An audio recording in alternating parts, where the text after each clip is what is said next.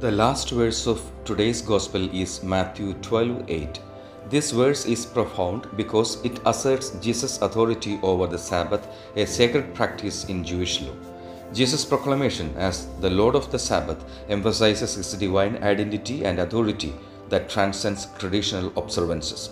This passage invites us to see Jesus not only as a teacher but also as an authority redefining the relationship between man and God. O my Jesus, give me an understanding of religious practices, focusing on your mercy, compassion, and the spirit of the law instead of rigid adherence to rituals. Lord, give me today the grace to live in recognition of your sovereignty over me, as manifested through my acts of kindness to others. In the name of the Father, and of the Son, and of the Holy Spirit. Amen.